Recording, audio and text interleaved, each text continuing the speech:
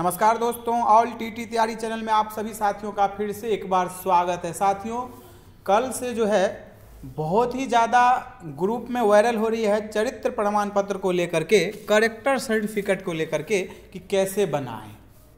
और बहुत सारे अभ्यर्थियों के द्वारा मुझसे भी पूछा गया है, साथ में कॉल भी करते हैं मैसेज भी करते हैं और कहते हैं कि चरित्र प्रमाण पत्र कहाँ से बनवाएँ, मुखिया से बनवा लें ब्लॉक से बनवा लें एसपी से बनवा लें एसडीओ से बना लें किस से बनाएँ?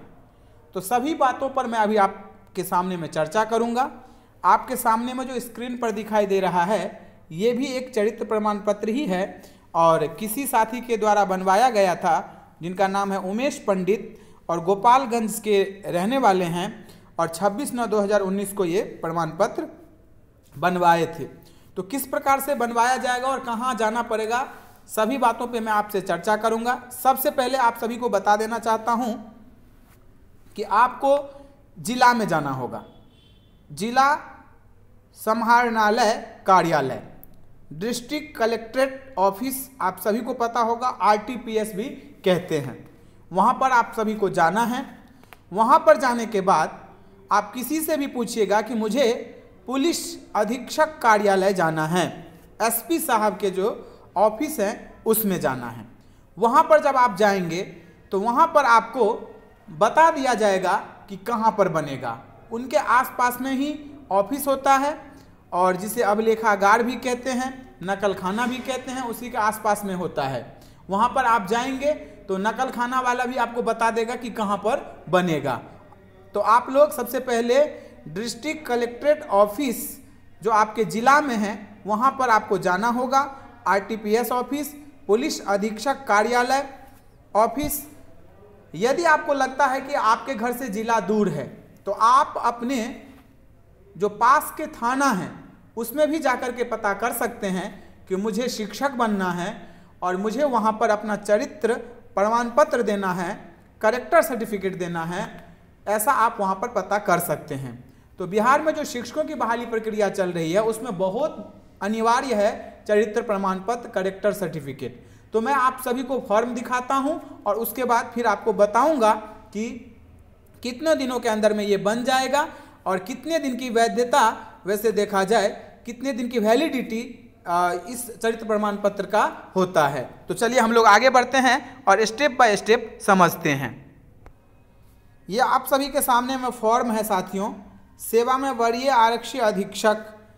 वहाँ पर जो है वो उन्हीं को ये फॉर्म देना होता है। यहाँ पर आप जो अपना फ़ोटो है और वो भी करेंट का फ़ोटो आजकल का फ़ोटो खिंचवा के आपको यहाँ पर लगाना होगा। विषय आरक आचरण प्रमाण पत्र निर्गत करने के संबंध में करेक्टर सर्टिफिकेट चरित्र प्रमाण पत्र महाशय, सविनय निवेदन है कि मुझे आचरण प्रमाण पत्र की आवश्यकता है और जिस कार्य के लिए है, वो आपको यहाँ पर फिल करना है।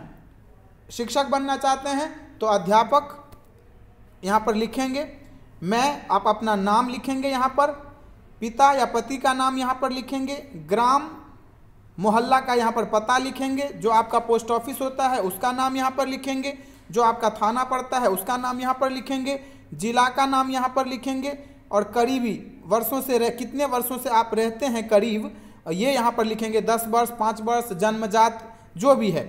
उसके आगे यह कि मेरे विरुद्ध किसी थाना या न्यायालय में कोई आपराधिक या दीवानगी दीवानी का मुकदमा लंबित नहीं है।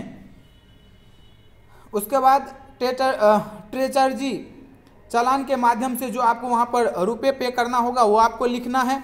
जमा कर दिया हूँ, आवेदन पत्र के साथ मेरा हाल का स्व अभिप्रमाणित किया हुआ, उस पर हस्ताक्षर करेंगे, फ़ोटो पे और मुझे श्रीमान द्वारा निर्गत आचरण प्रमाण पत्र की सख्त आवश्यकता है, कार्य के लिए जो पढ़ा है वो लिखेंगे, कार्य हेतु पढ़ गया है।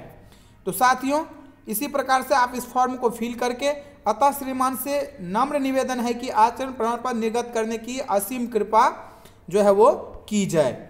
यहाँ पर, और यहाँ पर देख लीजिए, हस्ताक्षर, पहले यहाँ पर आप उस दिनांक लिख दीजिएगा अपना।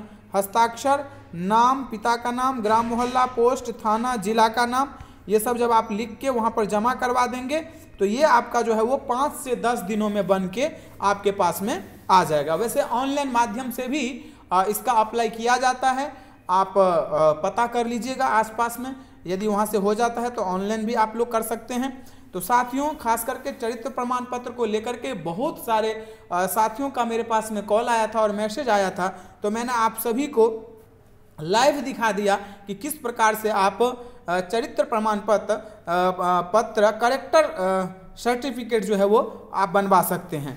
तो आपको उसके लिए जिला समाहरणालय डिस्ट्रिक्ट कलेक्ट्रेट ऑफ़िस जाना होगा और वहाँ से आपका सब कुछ समाधान हो जाएगा और इसको आप जल्दी से जल्दी बनवा लीजिए।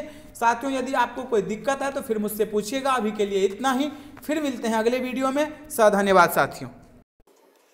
इस तरह की वीडियो देखने के लिए चैनल को सब्सक्राइब करें, लाइक करें और शेयर करें। बेल आइकन के बटन को दबाना ना भूलें।